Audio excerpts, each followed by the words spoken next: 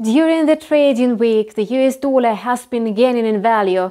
Investors were looking forward to, to, the US average earnings and employment data as it was expected to provide hints about the timing of the Fed's monetary policy stabilization. Early next week, all eyes will be turned to the macroeconomic events that may affect the market situation. The meeting of the Reserve Bank of Australia will be one of the major events that will take place on Tuesday, July 6. It's important to notice a change in the regulator's rhetoric. Any hint about a rise in the key interest rate will make traders buy the Australian dollar. Notably, traders have not received any confidence signal yet. At the previous meeting, the central bank confirmed that it would keep the monetary policy unchanged until at least 2024. If real inflation remained within the levels of 2 uh, and 3 percent. Also, this day, during the European session, traders will be focused on the reports prepared by the ZEW Institute. It will disclose the economic sentiment data for July.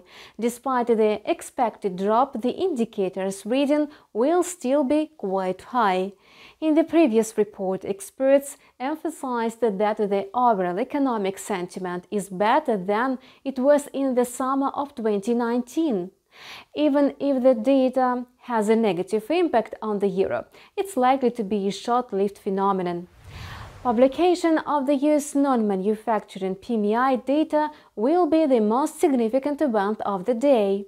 The report will disclose the level of business activity in agriculture, mining, construction, transport, communications, as well as wholesale and retail companies.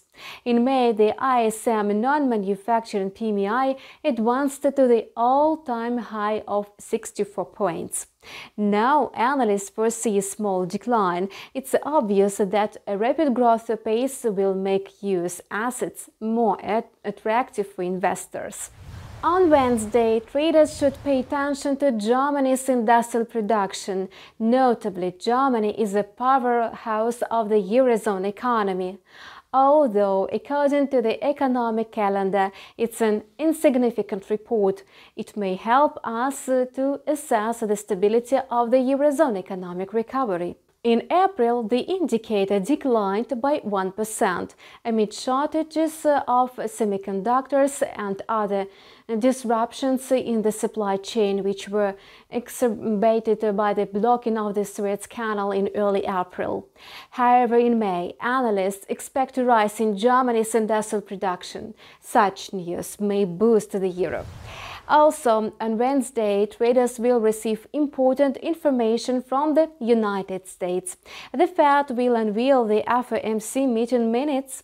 On June 16, after the publication of the meeting results, the US dollar showed a significant rise. Then, investors learned that the regulator might raise the key interest rate twice by the end of 2023.